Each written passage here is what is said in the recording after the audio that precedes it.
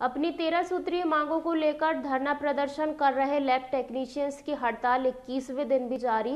अपनी मांगों के संबंध में सरकार को सद्बुद्धि दिलाने के उद्देश्य से धरना स्थल पर किया हवन। अपनी तेरह सूत्रीय मांगों को लेकर लैब टेक्नीशियन 21 दिन 21वें दिन भी हड़ताल पर डटे रहे। आज धरना स्थल पर उन्होंने सरकार की सद्बुद्धि को लेकर यज्ञ किया। हवन के साथ उन्होंने सरकार की सद्बुद्धि के साथ अपनी मांगों को पूर्ण करने की भी मांग ईश्वर से की।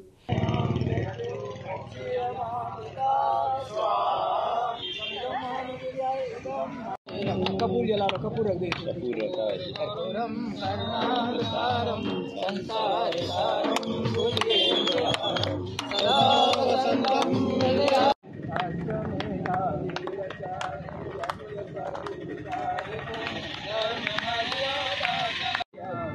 रोग पीड़ित विश्व के संताप हरते छोड़ रे जल कपट को बल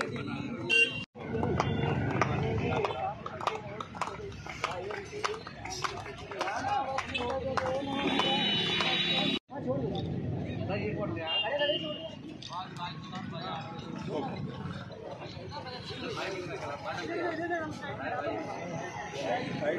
और आज जो यज्ञ किया जा रहा है क्यों किया जा रहा है क्या? मैं राजेंद्र सिंह यादव जिला संरक्षक टेक्निक एसोसिएशन विदिशा आज हम इसलिए ये कर रहे हैं कि हमें छब्बीस तीस तारीख को टाइम दिया गया था बात करने का बातचीत का वो बातचीत नहीं हो पाई थी फॉलो हो गई थी।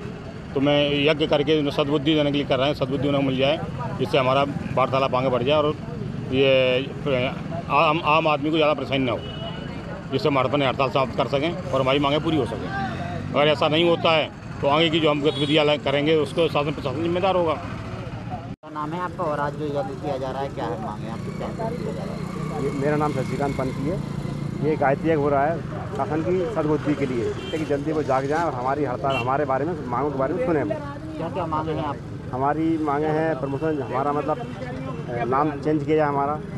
हमारा प्रमोशन चैनल जो चालू नहीं है उसको चालू किया जाए। तो हम इसी पद पर भर्ती होते हैं और इसी पर रिटायरमेंट हो जाता है हमारा। इसके अलावा हमें कुछ नहीं मिलता नहीं कितने दिन से आप हम बैठे हम बैठे कम आज हमको इक्कीस दिन हो गए हमको बैठ करने के।